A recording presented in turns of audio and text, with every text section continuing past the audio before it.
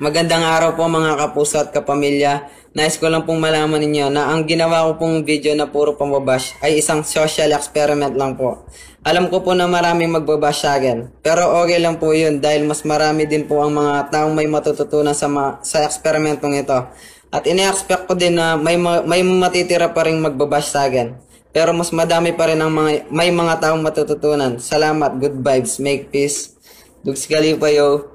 Basahin nyo na lang po yung caption at doon nyo po makikita ang mga karagdagan impormasyon na sa eksperimentong ito. Salamat.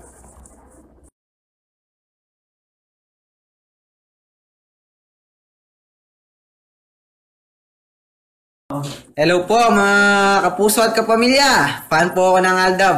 At meron po kaming eksperimentong gagawin. Kunwari ay ibabash namin ang Aldab. At titignan namin ang reaksyon ng mga Aldab fans, basher. Ito po isang lesson of the day na huwag na nating patulan o mambash sa kapwa natin. Dahil wala din po itong madudulot sa maganda. Salamat, I love you. Umpisan po na namin. Ah, yan si yan Aldab na yan, nakakasira lang ng ulo yan. At saka yung pag-aaral nyo, yung trabaho nyo, ang tatanga nyo. Kanina may nabunti, yung nanganak na ano, dahil sa Aldab na yan. Tang ina ng anak sa bahay.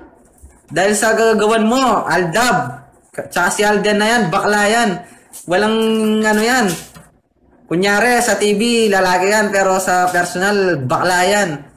Yan si, ano na yan, buti pa si Pastillas. May matututunan ka dyan. Yung sa Twitter, tangi, million million views, million million tweet. Wala kaming pake. Pastillas kami. Tsaka yung Pastillas, may matututunan ka dun. Wala ka man sa Aldab. Ano yun? Kilig? Kilig? Anong alam yung kilig-kilig? Nakakainis nga kayo eh. Sana malaman nyo na wag na kayong magpakatanga. Nasisira lang ang buhay nyo. Tingnan mo yung tatay ko na wala yung trabaho dahil sa Alden na yan. Yung mama ko, hindi pa nakapag-BS. Nanonood na nga ng Aldab. Ganyan kayo. Patayin, patayin ko kayo dyan eh. Anong gusto nyo?